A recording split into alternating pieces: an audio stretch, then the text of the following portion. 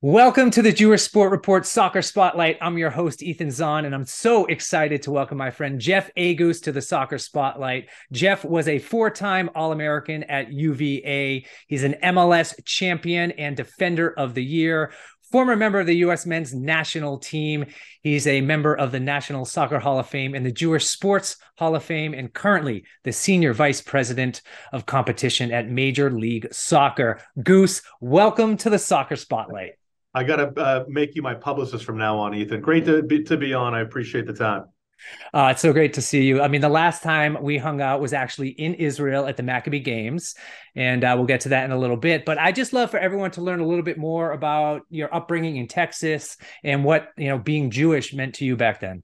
Yeah, I was actually born in Europe. I was born in Switzerland, in Geneva. We didn't spend a lot of time there, uh, but we did move to Johannesburg, South uh, South Africa, when I was young had a South African accent when we moved to the States, but I was still young.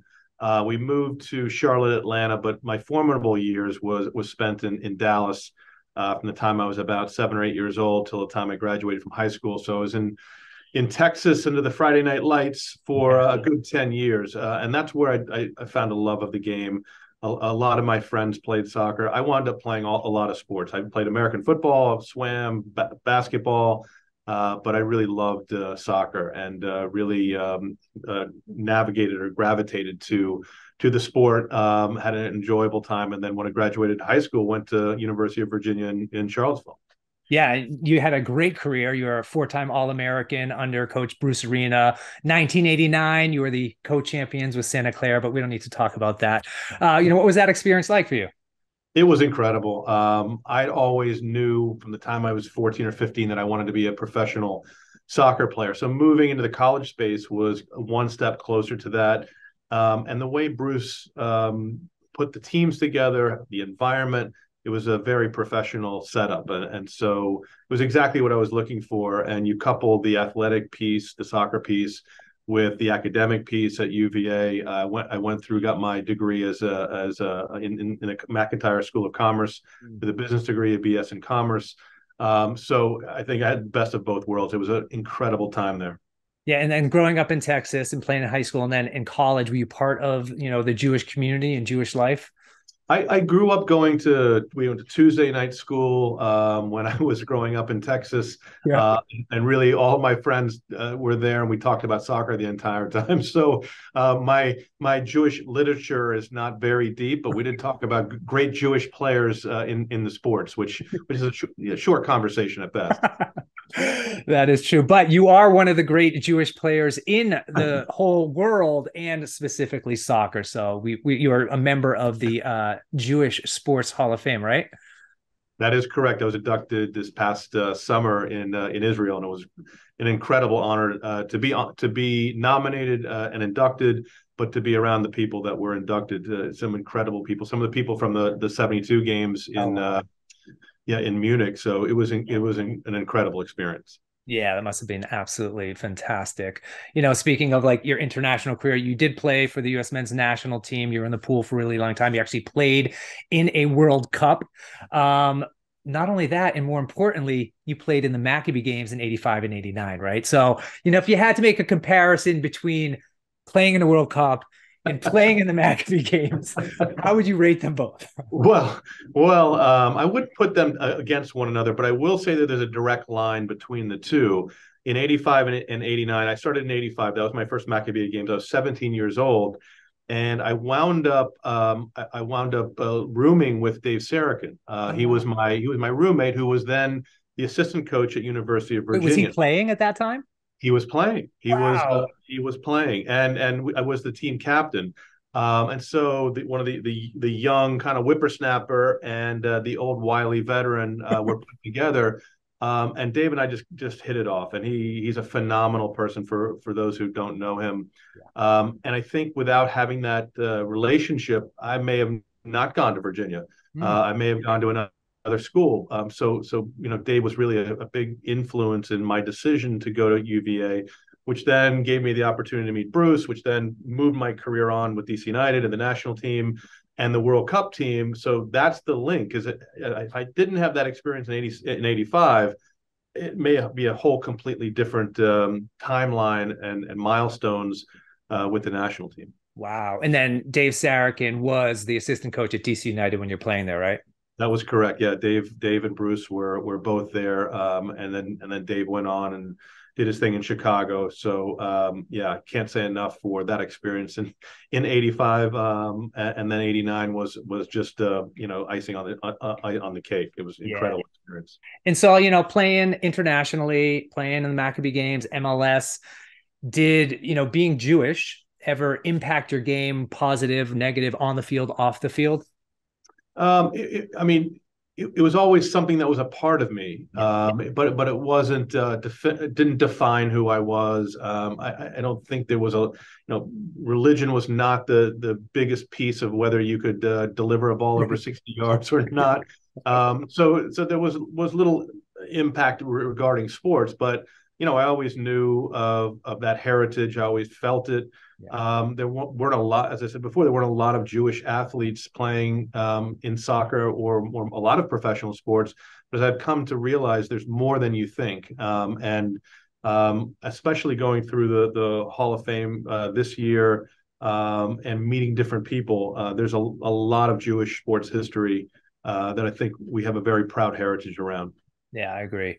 And uh, you know, I was actually doing some research for you know the Sport Report in the current World Cup. I couldn't really identify many Jewish players. Um, you know, it looks like Matt Turner, who's the goalkeeper for the U.S. team, uh, half Jewish. DeAndre Yedlin has a connection uh, to being Jewish. But other than that, I've been doing some digging, and I haven't really found that many people on other national teams uh, so far, which is really interesting to think about. Now it is a World Cup winter, and you have played in the World Cup, as we said. Do you have any predictions? Are you rooting for anyone other than the United States? Well, um, no, I'm I'm very much rooting for the United States and and obviously Canada to, to do well given our, our, our relationship in, in MLS. But um, I'm going to be following the United States very closely. Um, we're in a group where I think we can do well. I think we can get out uh, as long as we perform. Um, you know, that I, had very different experiences in 1998 in France, where we were 32 out of 32 teams, uh, one of the worst teams in, at, at the World Cup, but we were in a World Cup and then uh, in South Korea and Japan in 2002, one of the best performances, the best performances to date of U.S. soccer, uh, getting to the quarterfinals, losing to Germany on a uh, possible handball on, on, the line by Torsten Frings. yes, um, but you know a lot of great memories from 2002. Uh, beating Portugal, beating Mexico, um, just some fantastic uh, memories. Hopefully that will continue. I would love for this team to beat our record and get past the quarterfinals. Uh, I'd love for them to go deep, but they've got to they've got to win um, and get out of their group. Yeah, I mean, I absolutely agree. The the 2002 World Cup, I was actually there. I was fortunate enough, I just won Survivor. And uh, so I was asked to be the inside reporter for the US men's national team with Philips Electronics. So I don't know if you remember, but I was there. I was on the bus. I went to the training field. I got to meet all the players. For me, that was literally the highlight of my soccer career is to, you know, to be with you guys and just kind of tag along and, and shadow everything you were doing. So that was such an experience. And also that that year, well, 2001, 2002, you were MLS Defender of the Year in that year, I happened to win Survivor. So very good year for Jews, if you think about it. My uh, guess is you made a little more shekels than I did. Jeff, I want to show you this. Not many people get to see this, and because you're special, this is the shirt that I wore on Survivor. You're allowed to bring two T-shirts. I brought one. It was my Maccabi USA Israel 2001 jersey. So Strong. I think uh, very strong, right? Um, so now you have uh, done an incredible job, you know, on the field. You've transitioned into an, a, a really uh, awesome position at senior vice president of competition at Major League Soccer. What does that mean? What was the transition like getting out of soccer and into the front office? Yeah, there's sort of two questions: is what's your job, and then what does that actually mean? Uh, because it, it, it is somewhat opaque. So my my official title, senior vice president for competition. I've also added the medical department as well. So now I oversee two different departments. Actually, uh, Mark Abbott, the deputy commissioner, came to me in 2018 uh, and, and, asked me to take over both oper- the operations department and the medical department. Little did I know that in about a 12 month span, we would have a global pandemic, and our medical department would would be highly focused on trying to manage the the uh, COVID pandemic, which we're still uh, doing today. Um, had I known that was going to happen, I may have had a different answer uh, in terms of taking that on. But it has really been uh, an incredible experience, uh, incredible learning experience on the medical side. On the competition side, you know, our role is to make sure uh, that we manage the league competition with an, in, integrity um, and implement, um, you know, initiatives that improve the quality of play and that's really the, the the goal is to make the best product possible on the field so that we continue to engage uh, have, have higher fan engagement and and more market share bring more fans in. Um, so everything from player roster construction uh, officiating discipline everything that's sort of inside the white lines is is within uh, within our purview. So um, I am I am incredibly privileged to lead a great team uh, that uh, essentially tries to move this game forward um, and tries to give it um, you know uh, support throughout uh, our 28, 29, 30 teams. Uh, but ultimately, my goal is is to do what um, what was not able to be done when I was young and watching the NASL was create a legacy for those players that are here today. Uh, that that are former players like myself and that will be in the league at, at some point you know, we all remember the New York Cosmos, but we don't remember all the other teams because of the league had folded. So I wanted to make sure that I wanted to be part of something that would create this legacy and continue to have Major League Soccer continue. Love that. Um, you know, you know, growing up Jewish, I was always, you know, we're always taught about, um, you know, living by Jewish values, community, tzedakah, tikkun olam. Have any of those values you know played a role in your professional career off the field in MLS or even playing with a team? Yeah, I mean, community is a big piece of what we do um, day to day and what we think about day to day. You know, if you look at the MLS logo, uh, the three stars, one's for club, one's for country, and the other one's for community. Oh, wow. um, we have 20, we have 28 teams, 29 teams next year, and there's a huge amount of focus put into those communities, uh, not only to give back but to be um, the north star in, in, in those in those communities. So, community is a big, a, really big piece of it. Yeah. Um, and and look, it's always a you know your your the your your your Jewishness or the part of you that's Jewish. Uh, is always going to be a part of you um, wherever you go, and so you you can always relate to people uh, with with similar backgrounds, other types of backgrounds. So it's always going to be a, a, an integral piece of, of who you are. Yeah. And you, you mentioned earlier about leaving a legacy. You know, your legacy obviously is is strong. You know, we talked about the National uh, Soccer Hall of Fame, but you were also inducted into the uh, Jewish Sports Hall of Fame in Israel. That's where we, we we saw each other mention that. But what is it like to be recognized by your peers, by the coaches, by the soccer community, and then also the Jewish community? Well, it's a great honor. I mean, uh, it, you know, you just hope to be part of good things, uh, winning teams, but really it's about the people you meet. And so, like meeting, ha- having a relationship with you, having a relationship with with teammates from the Maccabiah teams, like Dave Sarachan, as I was saying before, and others that have that, that I that I, have come to know.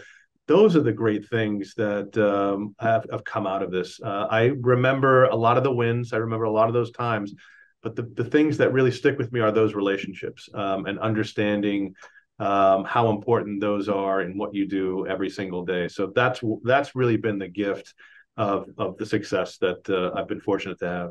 Yeah, it was wonderful. Yeah, getting to meet you has been a really awesome part of my life as well. Just to let you know that. Um, all right, last question, man. Okay, let's talk about the perfect circle, the chosen meal, the bagel. You know, it's like the soccer ball. my life. I rely on the bagels. I rely on a soccer ball. So, describe to me your perfect bagel. How would you prepare it? What would you put on it? When would you eat it? I need to know.